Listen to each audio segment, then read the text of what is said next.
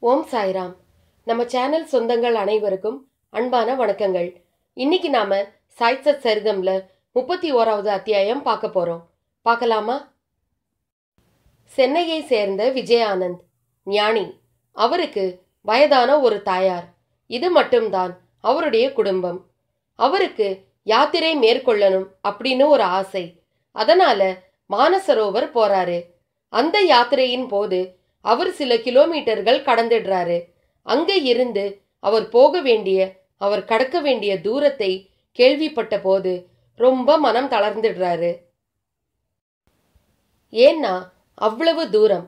அதனால தன்னுடைய வயதான தாயாரை தனியாக விட்டுட்டு நாம இவ்வளவு தூரத்தை கடந்து அந்த இறைவனை வழிபடுவதற்கு போறோம் அப்படின்னா நாம மறுபடியும் திரும்புவோமா இல்லையா? இதற்கான அடுத்த வழி என்ன? இதையெல்லாம் அவர் மனசுல யோசனை பண்ணிக்கிட்டு அவர் என்ன பண்றாரு? திரும்பி வந்துடுறாரு. அந்த யாத்திரையை அவரால் கண்டினியூ பண்ண முடியல. பாதியிலேயே வர்றார். வர்றவர் என்ன பண்றாரு அப்படின்னு பாத்தீங்கன்னா பாபாவை போய் சந்திக்கிறாரு. பாபா இந்த விஜய் ஆனந்தை பார்த்த உடனே ரொம்ப கோவப்படுறாரு. நீ எல்லாம் ஒரு ஞானியா? எதற்காக நீ அவ்வளவு தூரம் போன? உன்னுடைய பயணத்தை பாதியிலேயே விட்டுட்டு இவ்வளவு தூரம் வந்துட்டியே நீ. ஏன் இன்னும் கொஞ்சம் சிரமப்பட்டு இருந்தா உன்னுடைய லட்சியத்தை நீ அடைஞ்சிருக்கலாம் இல்லையா? உன்னுடைய கடவுளை நீ தரிசனம் பண்ணியிருக்கலாம் இல்லையா? எதற்காக நீ வந்த? அப்படின்னு பாபா ரொம்ப கோவப்படுறாரு. அப்பா அவர் என்ன சொல்றாரு? இல்ல பாபா நான் அவ்வளவு தூரம் போயிட்டேன். ஆனா அங்க இருந்து கடக்க வேண்டிய தூரம் எனக்கு ஒரு பயத்தை கொடுத்துருச்சு.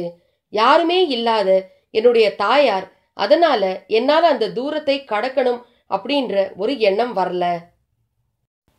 மனசுல பயம் வந்துடுச்சு அப்படிங்கிறாரு. அப்போ பாபா ஒரு சில வினாடிகள் மௌனமாக இருக்காரு. அதற்கு பிறகு சரி நீ போய் உட்காரு. கொஞ்ச நேரம் தியானம் பண்ணு அப்படிங்கிறாரு. உடனே இவரும் போய் உட்கார்றாரு. ஆனா தியானம் எல்லாம் பண்ணல. இவருக்கு அந்த பயணத்தை விட்டுட்டு வந்துட்டோம்னு ஒரு குறை. வீட்டில் அம்மா தனியா இருக்காங்க. அது ஒரு குறை. இங்கே பாபா நம்மளை திட்டுறாரு ஒருவேளை நம்ம யாத்திரையை கண்டினியூ பண்ணி இருக்கலாமோ அப்படின்ற ஒரு எண்ணம். இதெல்லாம் சேர்ந்து அந்த தியானம் செய்வதற்கான மனப்பக்குவம் அவருக்கு வரல. அப்படியே உட்கார்ந்துக்கிட்டு இருக்காரு. அந்த நேரம் பார்த்தீங்கன்னா பாபாவுக்கு ஆரத்தி நேரம் அது. அதனால வகை வகையான உணவுகள் ரொட்டி அது இதுன்னு என்னென்னவோ பாபாவுக்கு பிடிச்ச உணவுகள் எல்லாம் முன்னாடி வைக்கிறாங்க. சமயம் அப்படின்றதெல்லாம் மறந்து ஹிந்து முஸ்லிம் கிறிஸ்டியன் இந்த மாதிரி எல்லாருமே வந்து பாபாவை தரிசனம் பண்றாங்க. இதையெல்லாம் பார்த்த அவருக்கு ஆச்சரியமாக இருக்கு. எப்படி இந்த ஒரு மனிதர் மட்டும் சமயத்தை கடந்தவராய் இருக்காரே அப்படின்னு அவருக்கு ரொம்ப ஆச்சரியம். இதையெல்லாம் பார்த்துக்கிட்டு அமைதியா உட்காந்துக்கிட்டு இருக்காரு. ஒரு ஸ்டேஜில் சரி இதுக்கு மேல நாம இங்க உட்கார்ந்தோம்னா தியானமும் வரமாட்டேங்குது. தியானம் பண்ற மனநிலையும் வரமாட்டேங்குது. அதனால வீட்டில் போயிட்டு அம்மாவையாவது பார்த்துட்டு வந்துடலாம் அப்படின்னு பாபா கிட்ட சொன்னா பாபா கோவப்படுவாரோ? பாபாவின் ஆரத்தி நேரமாச்சே இது அப்படின்னு சொல்லிட்டு ஒரு கடிதம் எழுதுறாரு. நான் இது மாதிரி தாயாரை பார்க்க போறேன். ஒரு குறிப்பிட்ட நாள்ல பார்த்துட்டு நான் மறுபடியும் வந்துடுறேன் பாபா. வந்துட்டு தரிசனம் பண்ணிட்டு மறுபடியும் என்னுடைய யாத்திரையை நான் தொடர்றேன் அப்படின்னு சொல்றாரு. அதாவது கடிதத்துல எழுதுறாரு. அந்த கடிதத்தை பாபாவினுடைய உதவியாளர்கிட்ட தர்றாரு. அந்த கடிதத்தை பாபா படிக்கவே இல்லை. அவர் ஏன் படிக்கணும்?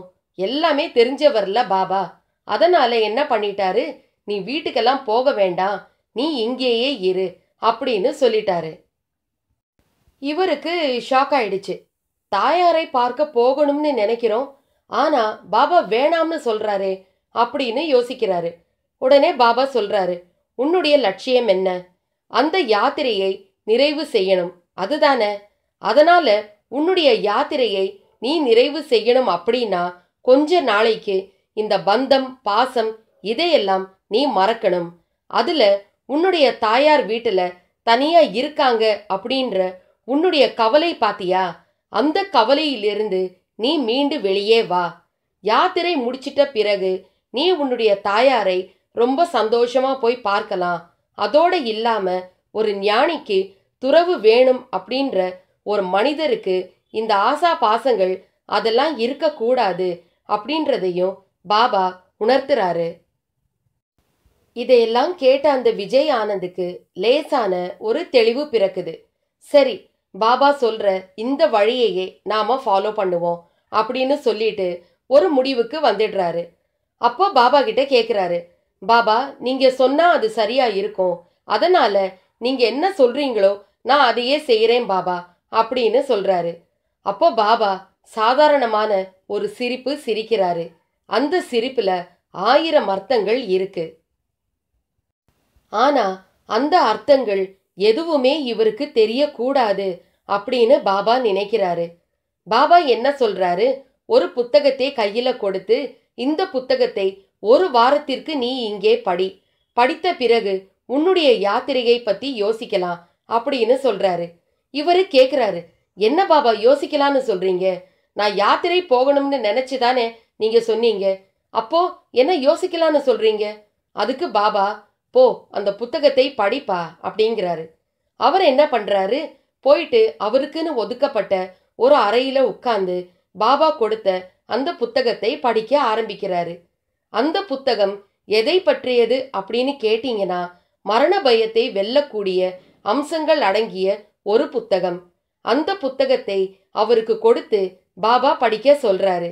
அந்த புத்தகத்தை படிக்கும் பொழுது அவருக்கு மனசு லேசாகுது. புத்தி தெளிவாகுது. நம்ம யாரு அப்படிங்கிற ஒரு எண்ணம் அவருக்குள்ள வருது. அந்த ஒரு தெளிவோட அந்த ஒரு மனநிலையோட அந்த புத்தகத்தை மேற்கொண்டு நல்ல விறுவிறுப்பா படிக்கணும் அப்படின்ற ஒரு எண்ணத்தோட முழு மூச்சாக அந்த புத்தகமே கதி அப்படின்ற ஒரு ஸ்டேஜில் அவர் தொடர்ந்து அந்த புத்தகத்தை தவிர அன்ன ஆகாரம் கூட வேணாம் அப்படின்னு சொல்லிட்டு அந்த புத்தகத்தையே படிக்க ஆரம்பிச்சிட்டாரு விஜயானந்த். ஒரு கட்டத்துல ஒரு வாரம் பத்து நாள்ல அந்த விஜயானந்த் ஷீரடி பாபாவின் ஆலயத்திலேயே அவர் உயிர் பிரியுது. அதாவது மரணமடைகிறாரு. இது அத்தனையுமே பாபாவுக்கு தெரியும். அதனால தான் பாபா இவர் வந்து வீட்டுக்கு போயிட்டு தாயாரை பார்த்துட்டு வரேன் அப்படின்னு சொன்னதுக்கு கூட அனுமதி தரல. ஏன்னா இவர் இன்னும் கொஞ்ச நாள்ல இறந்து விடுவார் அப்படின்றத பாபா உணர்ந்திருந்தார். தன் ஞான திருஷ்டியால தன் அதீத சக்தியால விஜயானந்த் இன்னும் ஒரு சில தினங்களில் இந்த உலகை விட்டு பிரிஞ்சிடுவார் அப்படின்றத பாபா உணர்ந்திருந்தார். அதனால அந்த ஒரு சிரமத்தை இவருக்கு தரக்கூடாது. உயிர் பிரியும் போது ஏற்படுகின்ற சராசரியான ஒரு அச்சம் ஒரு பயம் அந்த மரண பயத்தை இவர் அனுபவிக்க கூடாது அப்படின்றனால என்ன பண்றார்? தாயாரை சந்திக்கவும் அனுமதி தரல. யாத்திரை போவதற்கும் அவர் அனுமதி தரல. யாத்திரை போகும்போது இவருடைய மனநிலை எப்படி இருக்குமோ என்னவோ அதனால அதற்கும் அவரு அனுமதி தராம ஷீரடியிலேயே இருக்க சொல்லி உத்தரவு கொடுத்துட்டாரு. அதை ஃபாலோ பண்ண விஜயானந்த் அங்கேயே அந்த புத்தகத்தை படிக்கும் போதே அவருடைய உயிர் பிரியுது. அதற்கு பிறகு எப்போதும் நடக்கின்ற அந்த காவல்துறை விசாரணை. அந்த விசாரணைகள் எல்லாம் நல்லபடியா முடிஞ்ச பிறகு பாபாவே அந்த விஜய் ஆனந்தின் உடலை நல்லடக்கம் செய்யறதுக்கு ஏற்பாடும் செய்கிறாரு அதற்கு பிறகு அங்கேயே நல்லடக்கம் நடக்குது. இது வந்து பாபாவை நம்பி விஜயானந்த் வந்தாரு. யாத்திரை போக முடியல. அதனால பாபாவை பார்க்கலாம் அப்படின்னு வந்தாரு. ஆனா பாபா விஜயானந்தை பற்றி நல்லா தெரிஞ்சு வச்சிருந்தாரு. இவருக்குன்னு இருக்கிறது வயதான ஒரு தாயார். இவர் மறுபடியும் அதாவது விஜயானந்த் யாத்திரை போறதா சொல்லிட்டு தான் வந்து தன் தாயார்கிட்ட இருந்து விடை பெற்றாங்க. தாயார் என்ன நினைப்பாங்க? யாத்திரை போயிருக்கார் வந்துடுவார் அப்படின்ற ஒரு மன நிம்மதியில அங்க இருக்காங்க. இவர் பாதியில் மறுபடியும் அம்மாவை போய் பார்த்துட்டு வரேன் அப்படின்னு சொல்லிட்டு வரும்பொழுது தேவையில்லாத ஒரு மன சஞ்சலம் அந்த வயதான தாய்க்கு வரும் அப்படிங்கிறதுனால தன் தாயாரை போய் சந்திக்கின்ற ஒரு வாய்ப்பை கூட விஜய் ஆனந்துக்கு பாபா தரல. இப்போ அந்த தாயார் என்ன நினைச்சுக்கிட்டு இருப்பாங்க? மகன் யாத்திரை போயிருக்காரு வந்துருவாரு. இப்படிதான் அந்த வயதான தாயாரின் மனசுல ஒரு எண்ணம் இருக்கும். அந்த ஒரு எண்ணத்தோடையே மீதி காலத்தை கழிப்பாள் அந்த தாய். விஜய் ஆனந்துக்கு அந்த அச்சம் ஒரு பயம் அந்த யாத்திரையின் போது இருக்கக்கூடிய அந்த தூரத்தின் தொலைவை பார்த்த உடனேயே இவ்வளவு தூரத்தை நம்மளால கடக்க முடியுமா? அப்படின்ற ஒரு பயத்தோட தான் திரும்பி வந்தாரு. இது எல்லாமே தன்னுடைய மனம் சார்ந்த ஒரு விஷயம் அப்படின்றத அந்த ஒரு புத்தகமே அவருக்கு விளக்கிடுச்சு. அந்த புத்தகத்தை படித்த ஒரு நான்கைந்து நாட்களிலேயே அவருடைய உயிர் பிரிந்தது நிம்மதியாக பிரிந்தது. அதுதான் பாபா. யாருக்கும் எந்த சிரமமும் தன்னுடைய பக்தனால் வரக்கூடாது. தன்னுடைய பக்தனும் நிம்மதியான ஒரு வாழ்க்கையை அனுபவிக்கணும். அவர் உயிர் பிரியும் போது கூட நிம்மதியாக அவர் இருக்கணும் அப்படின்னு நினைக்கக்கூடியவர் தான் பாபா. அதனால தான் அவர்கிட்ட எதுவுமே சொல்லல. பாபாவுக்கு தெரியும் விஜயானந்த் இன்னும் ஒரு சில நாட்களில் இறந்து விடுவார் அப்படிங்கிறது தெரியும். ஆனா அவர்கிட்ட சொல்லல. அதனால தான் அவர் வீட்டுக்கும் அனுப்பல. பாபா சித்த புருஷர் யோகி அங்க போயிட்டு இந்த கண்களுக்கு தெரியாத இறைவனை வணங்குறது தான் வந்து ஒரு இறை சக்தின்றது கிடையாது. பாபாவும் இறைவனுக்கு நிகரானவர்தான். எல்லாமே தெரிஞ்சவர் தானே பாபா. அதுதான் வந்து இந்த விஜயானந்துக்கு பாபா உணர்த்தினார். நீ இங்கே இத்தனை விஷயங்களையும் ஒரு புத்தகத்தின் மூலம் நீ உணர்ந்தால் உனக்கு மோட்சம் நிச்சயம் அப்படிங்கிறதுக்காக தான் அந்த புத்தகத்தை அவருக்கு கொடுத்தார். ஆனால் எந்த விஷயத்தையும் சொல்லாமல் கொடுத்தார். அந்த புத்தகத்தை படிக்க படிக்க விஜயானந்த் அந்த புத்தகத்துக்குள்ளேயே வந்து ஐக்கியமாயிட்டாரு. அதற்கு பிறகு தன்னுடைய முழு மனதுடன் முழு விருப்பத்துடன் முழு ஈடுபாட்டுடன் இந்த புத்தகத்தை படிக்கும் பொழுது அவரின் ஆத்மா ரொம்ப நிம்மதியா பிரிஞ்சது. எந்த ஒரு குறைகளும் இல்லாமல் பிரிஞ்சது.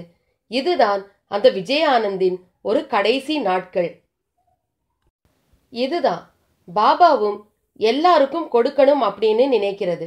அதாவது தன்னுடைய பக்தர்கள் எப்போதும் எந்த சூழ்நிலையிலும் எதுவும் இல்லை எதுவும் கிடைக்கல அப்படின்றதெல்லாம் வந்து இருக்கக்கூடாது.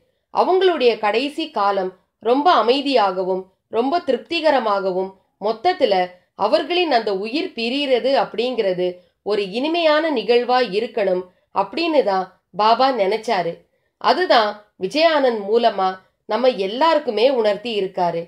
பாபாவை நம்பி பாபாவே சரணம் அப்படின்னு நாம பாபாவின் பாதங்களை பற்றினோம் அப்படின்னு சொன்னா நம்மளுடைய கடைசி கால வாழ்க்கையும் விஜய ஆனந்தின் வாழ்க்கை போலவே இனிமையாக அமையும். இதுதான் சாய்சத் சரிதம்ல முப்பத்தி ஓராவது அத்தியாயம்ல நமக்கு சொல்லியிருக்கு. இன்னைக்கு சாய்சத் சரிதம் முப்பத்தி ஓராவது அத்தியாயம் உங்க எல்லாருக்கும் ரொம்ப பிடிச்சிருக்குன்னு நான் நம்புறேன். ஜெய் சாய்ராம்.